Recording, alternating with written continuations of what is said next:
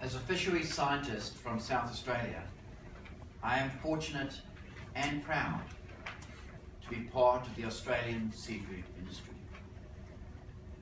I am passionate about abalone.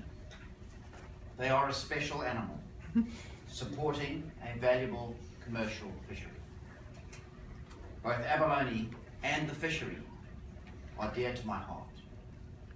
My name is Stephen Mayfield, and I am the science leader for the fisheries group at SARDI Aquatic Sciences in Adelaide.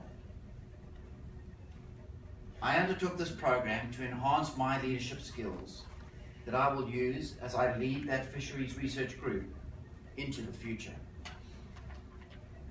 A key learning that I have had is the importance of using networks of contacts to capitalize on the collective skills, experience, and influence that that can provide. My job today is to chair the question and answer session. I'm sure that you'll have many and wide-ranging questions, but we have a time limit of about 20 minutes. Prior to asking your question, we would ask you to please stand and introduce yourselves to the group.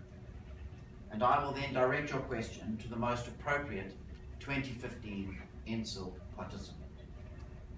If we don't get to your question, please forgive me and approach us over afternoon tea. And with that, I'd like to open the.